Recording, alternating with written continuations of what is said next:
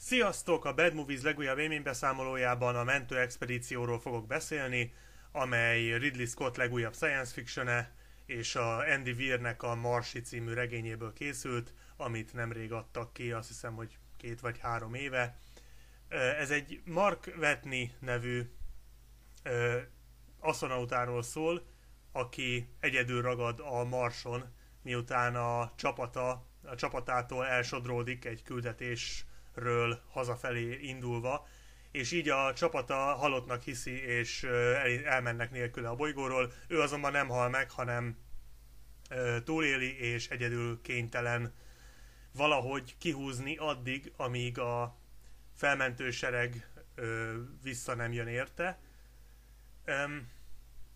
A, én úgy láttam a filmet, hogy már olvastam a könyvet, a Marsi című regényt, és próbáltam úgy nézni a filmet, hogy elvonatkoztassak ettől, hogy már már tudom a sztorit, és hát, hogy mindenképpen, tehát igyekeztem úgy nézni, hogy ne, ne feltétlen a könyvhöz hasonlítgassam a filmet, mert egyébként nagyon tetszett a Marsi című könyv, és gondoltam, hogy nem lesz olyan jó a film, mint a könyv, de, de igyekeztem azért úgy, úgy nézni, hogy ha nem látnám a, vagy nem, nem ismerném a sztorit, akkor hogy hatna rám ez a film, Hát őszintén szóval nem nagyon sikerült ezt így véghez vinnem, mert a film az tulajdonképpen egy az egyben a könyvet adaptálja. Tehát ezt úgy kell elképzelni, hogy az összes jelenet, az összes karakter, az összes párbeszéd, minden egy az egyben változtatás nélkül a könyvből van átvéve. Tehát akár milyen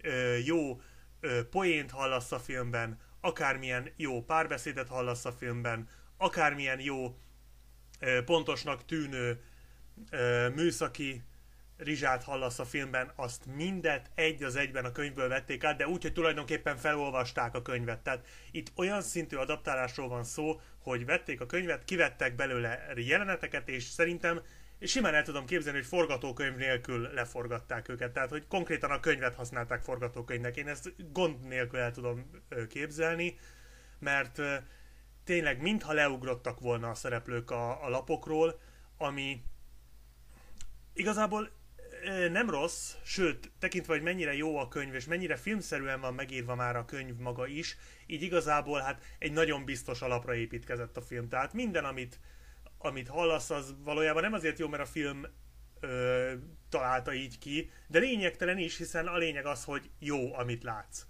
És amit a film hozzáadott, az szintén nagyon rendben van. Itt ugye főképp a színészekre gondolok, és főleg Matt Damonra, ugye, akinek papíron, és erőt teljesen kiemelném, hogy papíron egymagában kellett volna elvinnie ezt a filmet a hátán. Tulajdonképpen nem egymagának kell elvinnie a filmet a hátán, de tény, hogy nagyon jól játszik.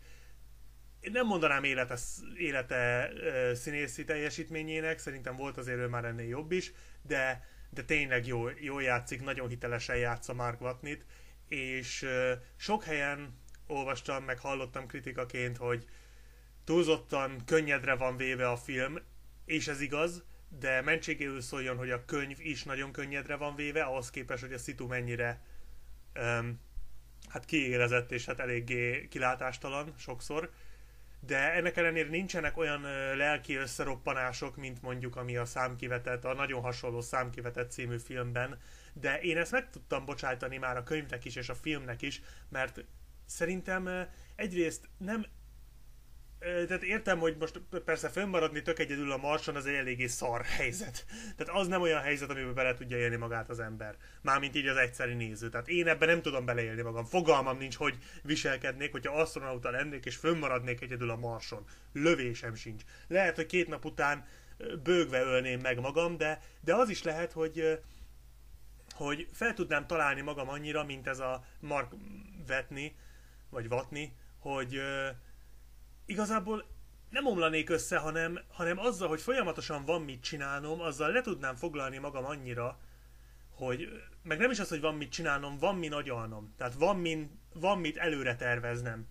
Ö, van mit kiszámolnom, van mit felmérnem, tehát azért itt folyamatosan újabb és újabb helyzetek adódnak, és azokkal számolni kell, és ezekre, ezekre föl kell készülni, ezekkel tervezni kell, hogy lehet, hogy ezek le tudnák foglalni az agyamat annyira, hogy ne kattanjak be mondjuk másfél év után. Tehát ez, tudom, hogy ez necces, mert hát a franc tudja, hogy ki hogy viselkedne, de őszintén szólva szerintem kiindulva abból, hogy hogyan van bemutatva ennek a Mark, Mark Watney-nak a jelleme, én meg tudom bocsátani azt, hogy ő nem omlott össze lelkileg, hanem hogy, tehát én, ki tudom nézni ebből az emberből, hogy fel tudja találni magát annyira, hogy ne legyen lelkisérült. Úgyhogy elfogadom, akiknek ez nem annyira jött be, én szerintem ez nem vészes.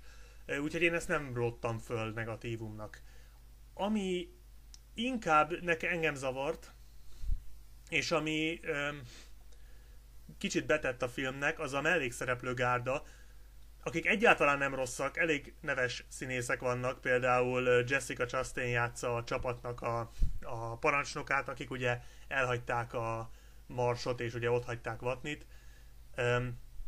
De játszik például Jeff Daniels is a filmben, aki a NASA igazgatót játsza, Chiveter, Ejiofor, vagy nem tudom, a, a fickó, aki a 12 év rabszolgaságban játszott, ő is játszik benne abszolút kedvencem két Mara is játszik benne. Én nem tudom, hogy kivel fek, fekszik le folyamatosan ez a nő, de, de nem értem, hogy, hogy a francba lehet még jelen ez a nő Hollywoodban. Katasztrofálisan rossz színésznőnek tartom, e, de mindegy, ő is itt van. Borzasztó szarul alakít, de hát mindegy. E, és még lehetne sorolni egyébként nagyon jó színészek játszák a mellékszerepeket. Az a baj a filmmel, hogy e, egy kicsit több hangsúlyt kaptak a mellékszereplők, mint amennyit kellene. Üm, illetve nem, ez se jó kifejezés, mert tulajdonképpen pontosan annyi ö, annyi hangsúlyt kaptak a mellékszereplők, amennyit a könyvben is kapnak. Viszont Mark Watney jóval kevesebb hangsúlyt kap itt, mint a könyvben. Tehát a könyv az Mark Watney-nek a sztoria, míg a film az inkább az ő megmentését megmentésével próbálkozó názás, illetve egyéb embereknek a, a sztoria. Tehát én úgy éreztem, hogy a film jobban hangsúlyozza azt, hogy lent a földön a NASA hogyan próbálja meg kimenteni Vatnit. Ezek a jelenetek is majdnem teljesen a könyvből lettek átvéve, de az a baj, hogy a könyvben emellett uh, Vatni rengeteget szerepel, a filmben pedig hát szerintem Vatni kevesebbet szerepel, mint a názások. Tehát az, az összes vágás az a Mark Vatninak a jeleneteit érte. És így nekem az volt az érzésem végig, hogy amikor a názásoknak a sztoria megy, hogy ötletelnek, hogy hogyan juttassanak föl kaját a marsra, hogyan próbáljanak meg hamarabb egy mentőcsapatot küldeni, azok azok több kibontál, azok jobban ki voltak bontva, mint azok, amikor azt látjuk, hogy ez az ember egyedül van a marson, és próbál valahogy túlélni. És nem értem, hogy miért. Tehát miért gondolták, hogy érdekesebb a názások sztoria, mint a Mark Vetnié? Szerintem rohadtul nem. És, és tényleg arról van szó, hogy olyan jeleneteket hagytak ki a könyvből, amik, amik egyszerűen borzasztó jók. Tehát a, én végig úgy éreztem, hogy öm, hogy annak érdekében, hogy a két és fél órás játékidőt tudják tartani, kivágták, ki, kivágtak egy csomó tök jó ötletet, és nem arról van szó, hogy ami benne maradt, az unalmas lenne, vagy ami benne maradt, azt ki lehetett volna vágni, innen-onnan lehetett volna vágni, de nem lett volna feltétlenül szükséges, hanem hogy én igazából ellettem volna még plusz 20 perc játékidővel, cserébe, hogyha például megkapjuk a, azt a jelenetet, ami a film vége, vagyis hát a könyv vége felé van, amikor, hát nem akarok spoilerezni, közeleg egy bizonyos vihar. Na most, aki olvasta a könyvet, az tudja pontosan, hogy miről beszélek, amikor a vége felé jön egy vihar. Az egy kurva jó jelenet, és kihagyták. És ez csak egy, tehát rengeteget például, amikor fúrja a, amikor a fúróval dolgozik Vatni, akkor is kihagytak egy, egy ilyen izgalmasabb jelenetet, vagy amikor történik egy kis gebasz,